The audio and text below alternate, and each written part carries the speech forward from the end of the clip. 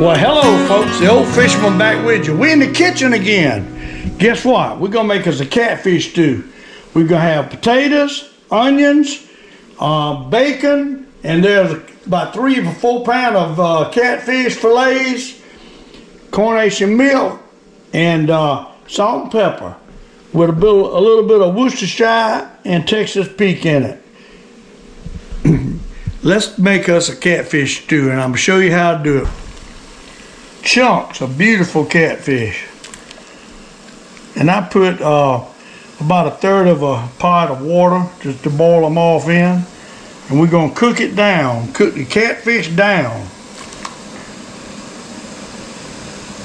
in boiling water right off the bat. Beautiful fillets. All right. Hey, we get right back with you. We got the fish cooking, the bacon cooking, one thing I want to add, we're going to have some uh, milk. And uh, I like the Mazola milk. If you folks that don't drink a lot of milk, want your milk to last longer, buy it in the cartons. It costs a little bit more, but you don't have to throw it out. I don't drink a lot of milk, and it, it'll last three, four weeks in that carton. The expiration date, always read it, it's always later than it is in the plastic containers. But uh, we're gonna have Worcestershire. We're gonna have uh, there's uh, onions already uh, getting ready to be cut up, and all our ingredients: carnation milk and butter is what we're going. What we're gonna do is we're gonna chop up the onions and uh, potatoes in square, the potatoes in squares, and chop up the onions small, and uh, cook it in that bacon grease over here, and uh, like stir fried in the bacon grease and then put them into the fish when they get through cooking. Hey, it's gonna be good, I'm telling you. All right, folks, we're gonna chop up our onions.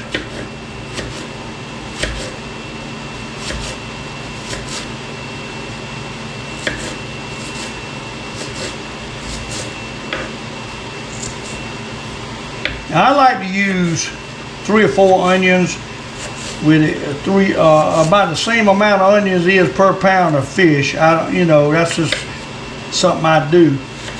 So I think we got three or so pounds of fish. I'm guessing I didn't weigh them, but uh, hey, you can add more onions, add whatever onions you want. If you like onions, but it gives it help give it the flavor. I'm gonna chop them up, put them in the pan here what we're going to try to do.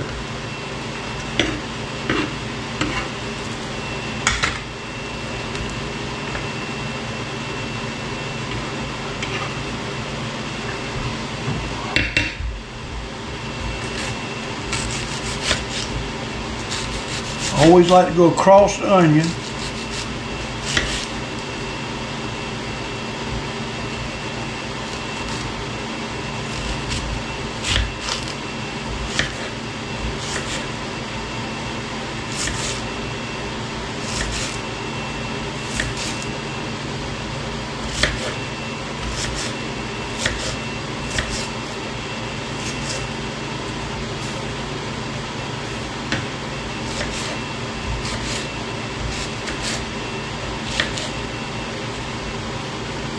I'm gonna tell you, you need a good cutting board to do this.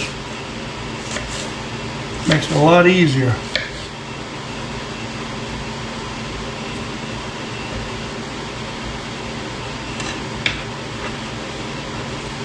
You're basically just cutting up onions. That's all we're doing here.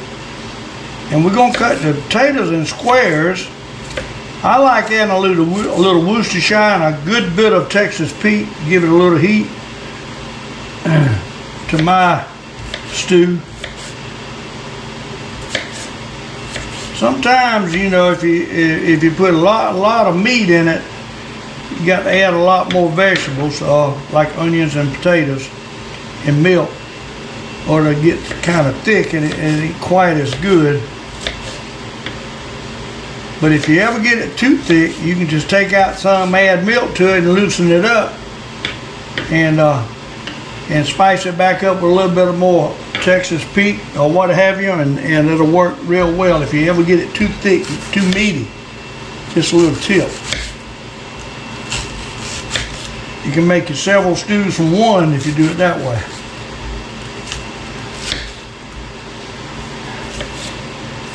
I have done that before. Freeze it like that and then add to it when I bring it out to loosen it up. And uh, and it works real well. It goes a long ways like that.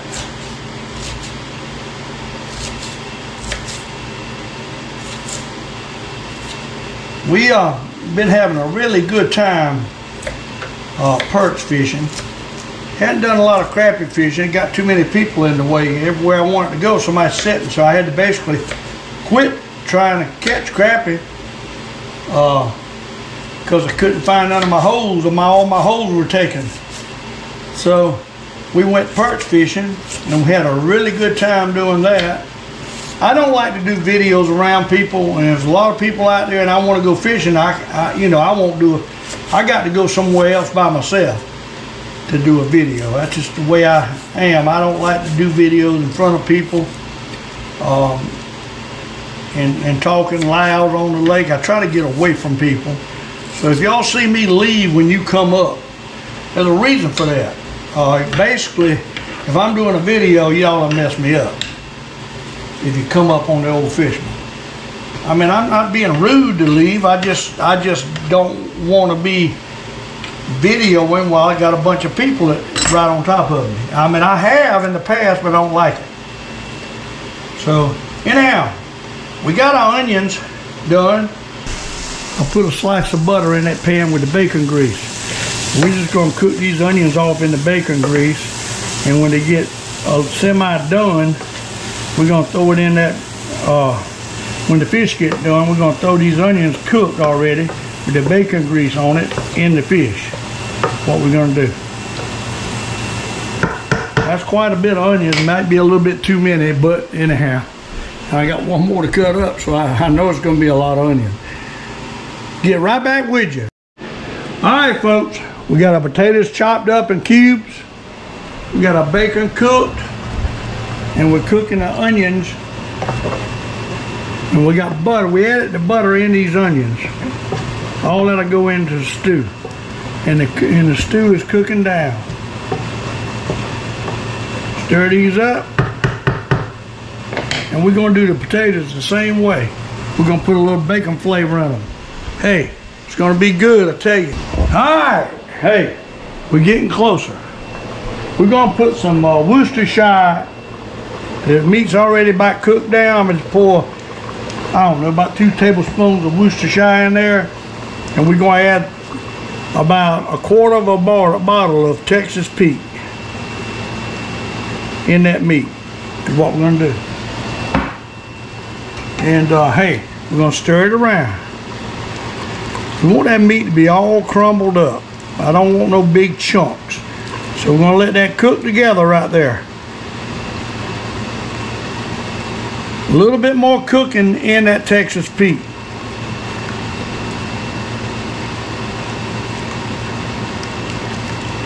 Onions are, are, I'm fixing to add the onions to it also. We're gonna pour the we're gonna dip the onions out and put it in there with that concoction. Got to do it a better way than this though. But I want to save some of my bacon grease. Hey, can't wait to eat this baby.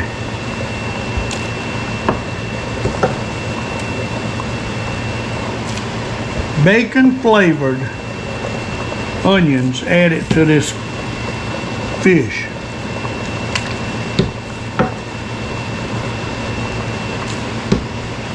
You can see I got a pretty good pot.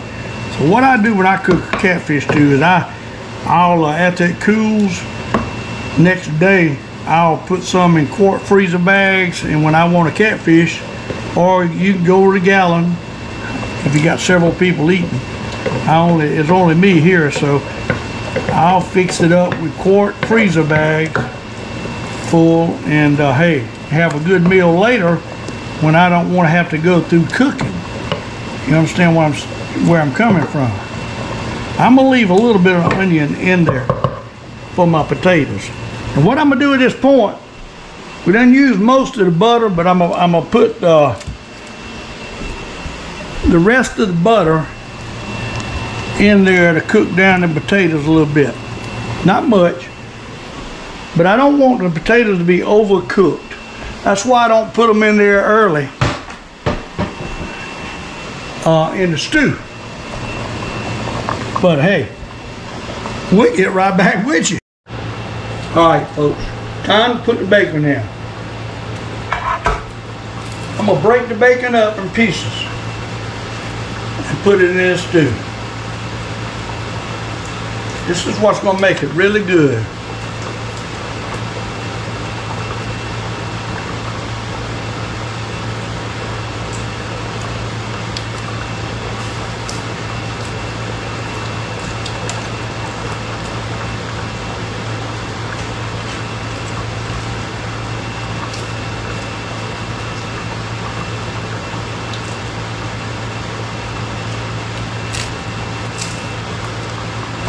Crumble it up if it'll crumble. And let it cook in there.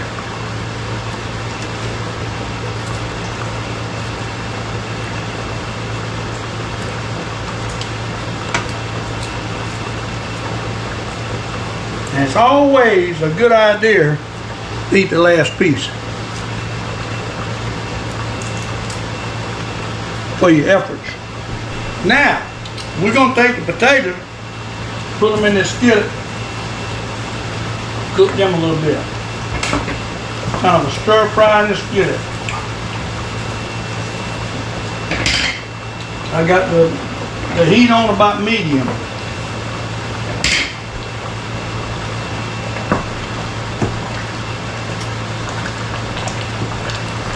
You're gonna cut the stew down because you don't want it to stick. Boiling pretty heavy. Just stir it up ever so often. You don't want it to stick.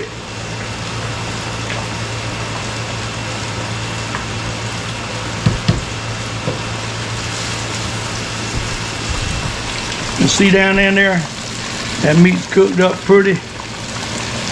Got that red tint to it with that uh, Texas Pete. Can't beat Texas Pete. Not too much. If you like it hot, you can add a lot more than I did. That's going to give it a Texas Pete flavor with a little Worcestershire to boot.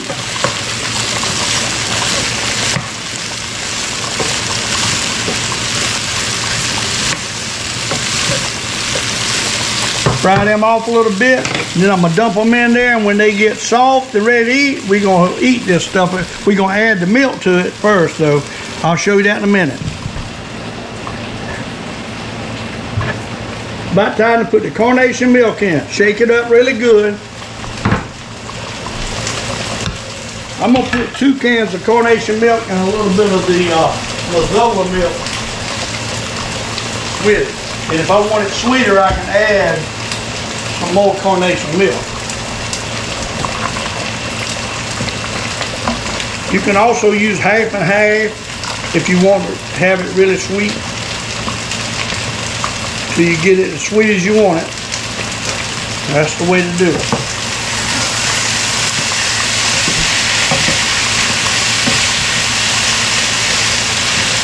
Stirring these potatoes, I don't want them to start to burn. I'm basically letting them cook long enough to get some of that, all that butter in them. Then we're gonna put it in there, in the stew. These potatoes are, are I use the butter to absorb into the potatoes and also for the cooking purposes.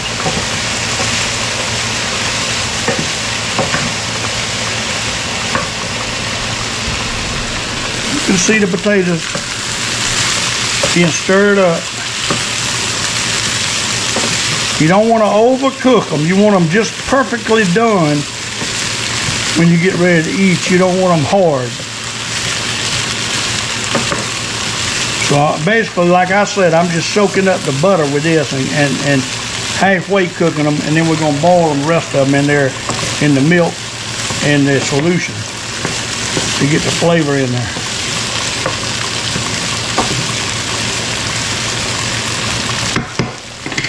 Looking good, right?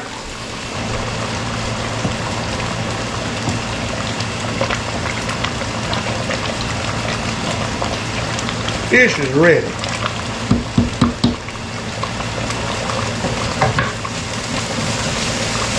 I think what I'm gonna do at this point, it looks like it absorbed all the uh, butter up. We're gonna finish cooking the potatoes in that solution.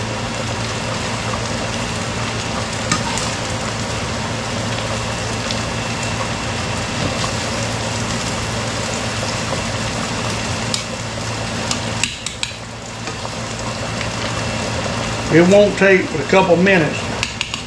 You can test one after a while and make sure it ain't overcooked. You don't want to overcook these potatoes.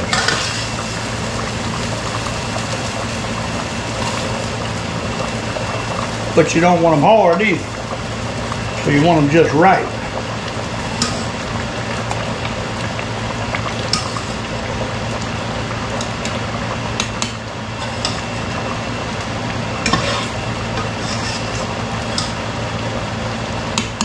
If you have somebody do your dishes for you, you'd be in good shape. We got us a pot full of uh, meat and potatoes. Now we got to add the milk to it.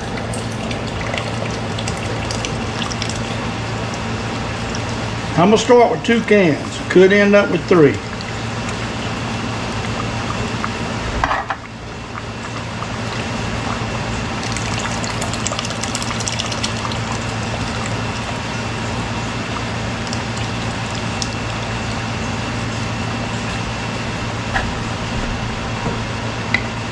Alright.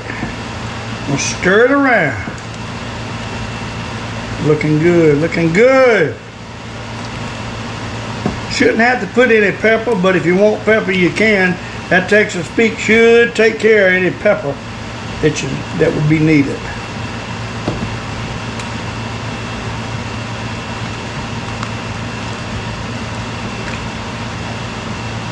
It's to be a pretty thick, almost like a chowder. Sometimes I get carried away and make it too thick.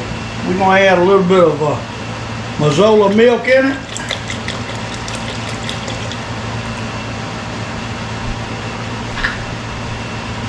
Um, every time I cook, I got a mess. But that's what cooking's about, making a mess, let me tell you.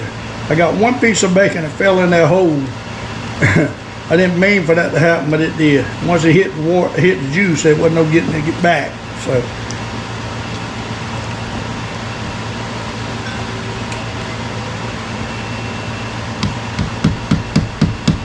So anyhow, we're gonna let that cook till the potatoes are done. Hey, I hope you're gonna enjoy when you try this method of cooking. The old fisherman catfish stew. And you can use less in ingredients, less potatoes, less meat. I always overdo it on the meat, always. I, I'm bad about that. But in this case, and it looks like I could be overdone it on the meat. But if you like it meaty, it ought to be perfect. And like I said, if it's too meaty, you can just keep adding liquid to get it to the consistency that you want. We're gonna let it cook and then we're gonna try it out. Get right back with you. Folks, one thing I want to remind you of when you make this stew is you make sure you keep uh, stirring it up. Don't let it stick on the bottom. That'll mess your whole stew up. Stir it constantly when it's about done. It really looks good, don't it? Oh my goodness. Hey, can't wait to try it. Matter of fact, we're gonna try a little a dip right now. Right out the barrel. Look at. We'll blow it. Oh my goodness. That is perfect. Perfect stew the Old Fisherman Way. God bless each and every one of you. Thanks for watching the Old Fisherman Loving Life videos. We'll see you next trip. All right, folks, here it is. The Old Fisherman Catfish Stew, chowder, whatever you want to call it. It's thick. Probably too much meat, but it will be good. Hey, let's see. Again, let's, let's take a good bite of it.